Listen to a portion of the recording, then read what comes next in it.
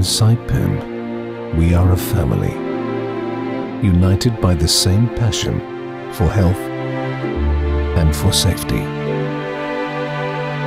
Together we continue to grow, facing every challenge with pride and determination. But we want to do it better, always. Every day, in our work, in every moment,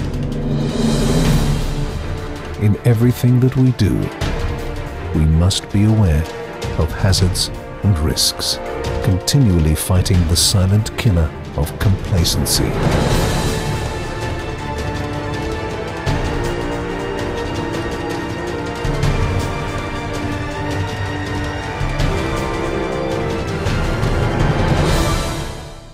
This is why we have set ourselves definitive rules, fundamental, clear and simple to protect us when we work, regardless of position or hierarchy. Rules that are for everyone within Saipem, for all the people working alongside us. Rules that show us what to do and what not to do. Life-saving rules.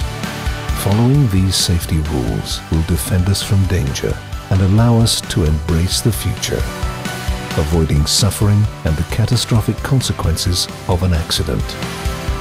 Saipem is proud to lead in safety, but we know that we can do better.